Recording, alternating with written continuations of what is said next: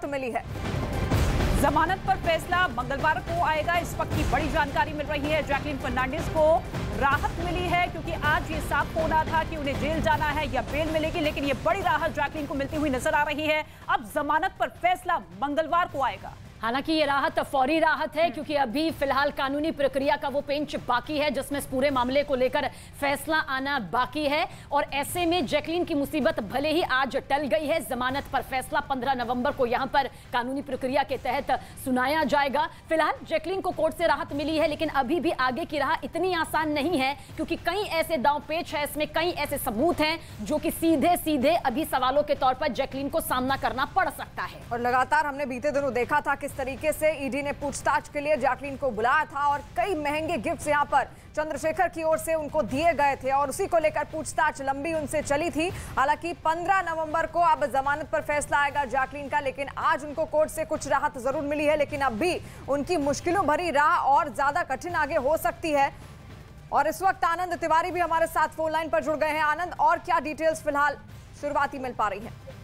जी देखिए, आज जैसे ही लंच के बाद Jacqueline Fernandes Patiala house court पहुँची, सबकी निगाह इस पे थी कि क्या उन्हें रेगुलर बेल मिलेगी या फिर उनकी मुश्किलें बढ़ेगी। लेकिन जैसे ही जज साहब अपनी चेयर पर बैठे, थोड़ी देर के बाद ही उन्होंने कहा कि इस मामले में उनकी अंतरिम राहत जो है, वो पंद्रह तारीख तक बढ़ाई जाती है। यानी कि अब अगली मंगलवार को इस पूरे मामले की सुनवाई होगी।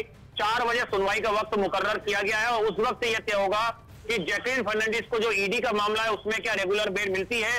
या जज साहब को ऐसा फैसला सुनाएँगे जिससे कि जैकलिन की मुश्किलें काफ़ी बढ़ जाएँगी? क्योंकि दिल्ली पुलिस की ईओडब्ल्यू भी इस पूरे मामले की जाँच कर रही है और वहाँ पर भी जल्द एक चार्जशीट फ़ाइल होने वाली है तो देखना होगा कि क्या उसमें जैकलिन फर्नांडिस को आरोपी बनाया जाएगा या फिर उन्हें एक तरीके से विटनेस रखा जाएगा। बिल्कुल। आनंद, क्योंकि अभी तक जितने भी गवाह निकलकर सामने आए हैं, जितने भी एविडेंस निकलकर सामने आए हैं, उसमें ईडी की टीम की तरफ़ से यही कहा गया है कि मनी लॉन्ड्रिंग मामले में बहुत अहम गवाह है जैकलीन। तो बड़ी खबर इस वक्त की यही है कि जैकलिन फर्नांडिस की बेल का जो पूरा मामला था उसे आ, अब आगे बढ़ा दिया गया है। जो फैसला है वो मंगलवार को आएगा। फौरी तौर पर रहा जैकलिन फर्नांडिस को मिल चुकी है। पटियाला हाउस कोर्ट के बाद मैं मौजूद हूँ। जैकलिन फर्नांडिस अब से दो से तीन मिनट पहले यहाँ से जा चुकी है। मंगलवार को अब रेगुलर बेल मिलनी है जैकलिन फर्नांडिस को या फिर नहीं। शाम को चार बजे कोर्ट की तरफ़ से ऑर्डर सुनाया जाएगा पंद्रह तारीख शाम को चार बजे। तब तक के लिए अंतरिम जमानत जिसके ऊपर जैकलिन फर्नांडिस अभी तक बाहर है, उसे आगे बढ़ा दिया गया। तो ये कह सकते हैं हम कि फौरी तौर पर तो राहत जैकलिन फर्नांडिस को यहाँ पर मिल गई है।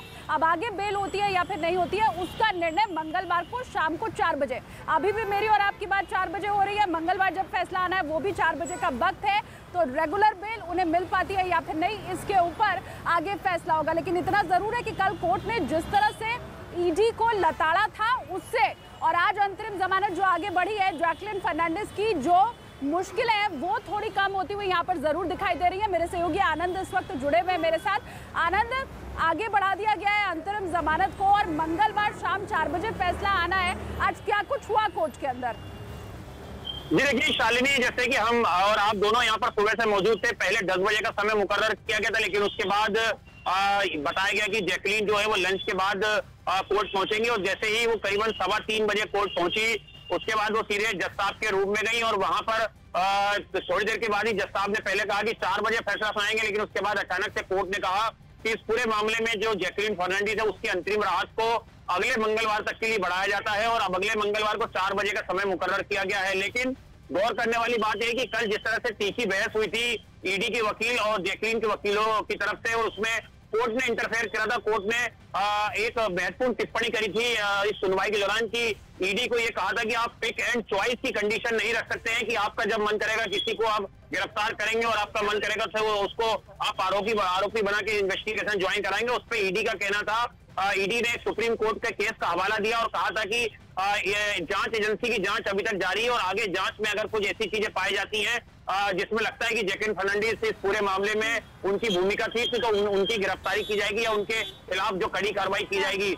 लेकिन जैकनी तरफ़ से लगातार दलील दी गई थी कि वो देश छोड़ के नहीं भाग रही हैं और वो पाँच बार ईडी की पूछताछ में शामिल हो चुकी हैं। लेकिन ईडी की तरफ़ से कहा गया था कि सात करोड़ रुपए के गिफ्ट कोई सेलिब्रिटीज को कोई आम शख्स नहीं देता है।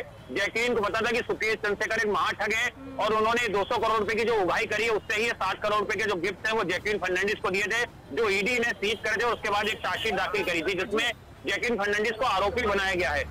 बिल्कुल। तो दोनों पक्षों दोनों पक्षों की जो दलील है, वो पूरी हो चुकी है अब सिर्फ़ रेगुलर बिल के ऊपर फैसला आना बाकी बचा रह गया है। आज हालाँकि ये उम्मीद की जा रही थी कि फैसला आ जाएगा, लेकिन अंतरिम जमानत को आगे बढ़ा दिया गया है। अब ये देखना होगा कि मंगलवार शाम चार बजे क्या जैकलिन फर्नांडिस को ये बिल मिलती है या फिर नहीं।